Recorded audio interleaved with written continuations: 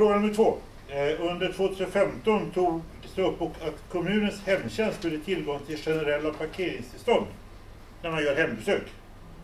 Vad hände med detta? Och, och om sådana utfärdades, hur får privata utövare tillgång till generella parkeringstillstånd?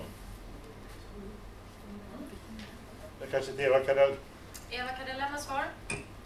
Eh, vi har fått svar ifrån stadsbyggnadsförvaltningen och där de i princip skriver då att det är, ganska, det är ganska lite kommunal mark och kommunala generella tillstånd som man kan utfärda. Så deras rekommendation är ändå att vi gör ungefär som vi gör idag. De vill gärna medverka till att ha en bra äldreomsorg och så, men de tycker Eh, det går inte att utfärda dem, eller de har så lite nytta så att vi får idag också som, fort, som Yvonne fortfarande gör, vända sig till respektive fastighetsägare och så får vi begära in parkeringstillstånd. Det är ett ganska krångligt system för oss, men det svaret vi har fått visar på att i kommunen kan man inte tillgodose det behovet hos oss i alla fall.